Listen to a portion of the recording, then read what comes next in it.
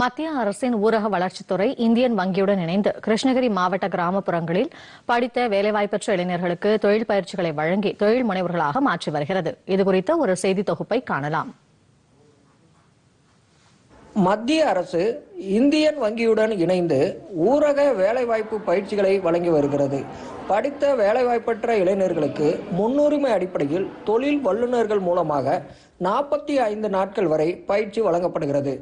தையல் பயிற்சி photography CCTV camera பொருத்துதல் அழகு கலை பயிற்சி உள்ளிட்ட இருபத்தி ஐந்து வகையான பயிற்சிகள் எந்த ஒரு கட்டணமும் இன்றி இலவசமாக வழங்கப்படுகிறது.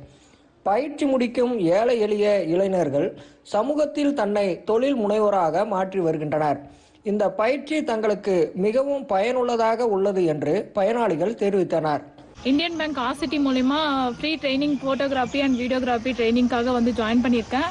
இங்கே வந்து டிஜிட்டலைஸ் இப்போ இருக்கிற அட்வான்ஸ்டு டெக்னிக் வந்து ஃபோட்டோஸ் வீடியோஸ் எடிட்டிங் எல்லாமே சொல்லி கொடுக்குறாங்க. என்னாலையும் ஏர்ன் பண்ண முடியும் ஒரு ஈவெண்ட் அட்டன் பண்ண முடியும் அப்படின்ற ஒரு நம்பிக்கை வந்திருக்கு. இங்க கத்துக்கிற ஒவ்வொருத்தரும் நல்ல பொசிஷன்ல இருக்காங்க. அதை நான் ஆல்ரெடி சர்ச் பண்ணி பார்த்ததுல ஒரு ஒருத்தரும் நல்ல பொசிஷன்ல இருக்காங்க. அந்த பொசிஷனுக்கு என்ன கொண்டு வந்துருவாங்க. அந்த நம்பிக்கை எனக்கு இருக்கு. ஃபோட்டோகிராஃபி அண்ட் வீடியோகிராஃபி முடிச்சுட்டு இப்போ நான் சுயமாக தொழில் செஞ்சுருக்கேன்.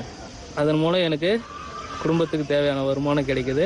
மத்திய அரசு வழங்குகின்ற ஊரக தொழிற்பயிற்சிக்கான மாநில இயக்குனர் திரு அன்புக்கரசு இந்த பயிற்சிகள் குறித்து கூறும்போது கிராமப்புறத்துல படித்த இளைஞர்கள். இவங்களுக்கு வந்து படிச்சுட்டு வேலை இல்லாம இருப்பாங்க.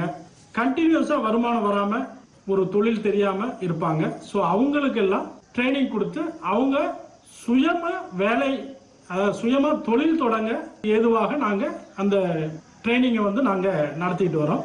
இந்த வருஷத்துக்கு உண்டான இலக்கு வந்து இருபத்தி ஐந்தாயிரம்.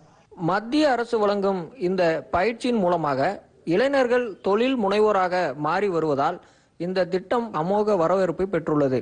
பொதிகை செய்திகளுக்காக கிருஷ்ணகிரியிலிருந்து ஸ்ரீராஜா